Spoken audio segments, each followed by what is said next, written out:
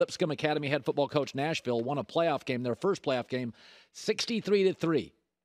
They're the Chiefs of Nashville, Tennessee. Decade and a half, Super Bowl and a Pro Bowl. So I was saying this, yeah, we can let's let's not separate coach and quarterback. They both need each other. So when mm-hmm. I watch Tua, I'm like, man, if he gets Brian Flores defense, they're going to be in the 20s a lot. And then I watch Tua, and it's weird, Trent. I think Tua is a better fit than Ryan Fitzpatrick because when I watch that defense, I'm like, you only you, you, just stay within the system. Like, I don't know. I watched Miami, Trent, and I'm like, this thing could. What did you make of the performance of Tua, Brian, the whole Dolphin team? Well, I love the Dolphins right now. I think Brian Flores is one of the best coaches in football.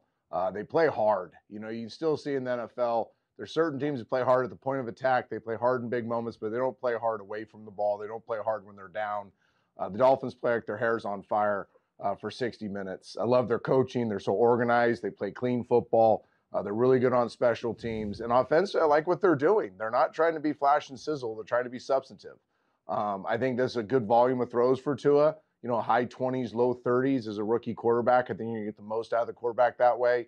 I liked how they used him. They recognize he's a um, he's a brilliant downfield thrower. They gave him opportunities to take shots downfield. He looked like these other rookie phenom quarterbacks.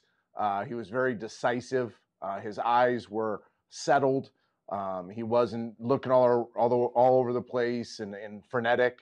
Uh, I thought it was a really good performance by the Dolphins all the way around, and I think they're only going to get better. You know, if you look at, I always I didn't count the first four uh, games of the season, kind of count them as preseason. Uh, if you look at after the first four games, uh, I think they have the second most wins in the NFL. So this is a team that's trending up. Uh, they're getting more organized as they go on, and, and I think they got the right quarterback to take them to the playoffs. Well, you know, Kyler Murray doesn't have the defense. And I mean, his coach is a college coach who'd never been in the NFL. They've asked him to be in the toughest division. Every two or three weeks, I watch Kyler, and he's just better. I don't even know. I guess there's Russell Wilson. I mean, I I'm blown away by him. I think you know what's funny, Trent. He may throw the nicest football in the league when he's on. It is stunningly beautiful. I don't know if there's a more exciting player to watch. You know, last year that was Lamar Jackson, Patrick Mahomes. You can make that argument.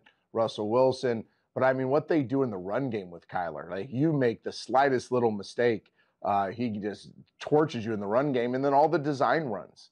Um, they've stolen a, a, page out of Baltimore's book with some of the arcing and double arcing blocking in the zone run game.